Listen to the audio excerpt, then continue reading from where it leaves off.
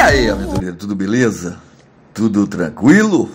Graças a Deus. Aventureiro, estamos nós aqui, mais uma vez. Hoje, dia 11 de março de 2022, vimos aqui mais uma olhada e atualizar os dados do Castanhão, como é que ele está, aventureiro.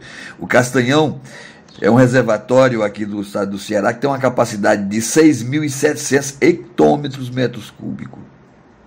O volume hoje, aventureiro, é de 610,16 ele aumentou 13 centímetros nas últimas 24 horas. É muita água, aventureiro. O Castanhão é, é grande, é largo. Essa imagem aqui, aventureiro, é simplesmente ilustrativa, tá? Ele não está assim. Hoje, 11 de 3 de 2022, está tá na cota 78,02 metros, com 9,11% da sua capacidade. Olha a régua aqui, aventureiro, 100%. Onde é que está a as águas do Castanhão. Então, aqui, falta muita água ainda, mas é isso aí.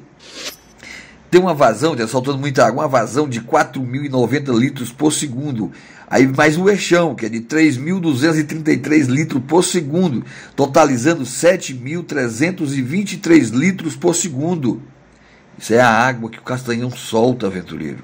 7.323 litros por segundo. É muita água, aventureiro. Vamos ver o aporte. Aporte, aventureiro, o aporte de 2022 é os movimentos das águas durante o ano, né? Mas vamos dizer aqui no mês.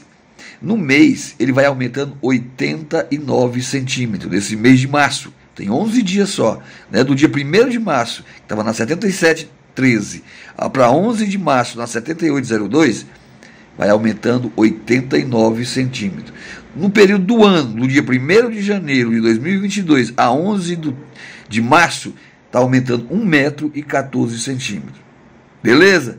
Isso aqui é os dados atualizados do Castanhão. Show de bola. Tamo junto.